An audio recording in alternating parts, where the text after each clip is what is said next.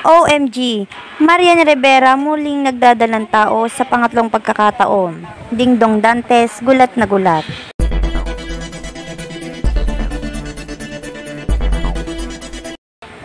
Tila hindi pa rin nga natatapos ang issue sa kinakaharap ngayon ng pamilya Dantes matapos ang paglantad at pagsisiwalat ni Lindsay de Vera ng tungkol sa nabuong relasyon nila ni Dingdong Dantes nang magsama sila sa pelikulang alias Robin Hood taong 2017. Sinimula ng naturang serye dito raw nabuo ang sinasabing lihim na affair ng dalawa. Nakalipas lang ang ilang taon ay lumabas ang isang blind item na may isang aktor raw na nakabuntis ng isang young actress at kanya raw itong nakatrabaho.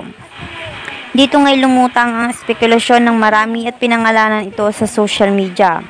Lumutang ang pangalang Ding Don Dantes at Lindsay De Vera na siya raw tinutukoy sa nasabing blind item na ito.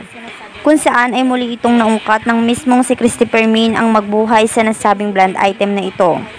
Matapos ang ilang taon na nakalipas sa kanyang tansya raw ay hindi nalalayo sa edad na apat na taon na ngayon ang batang ipinagbuntis noon ng isang young actress.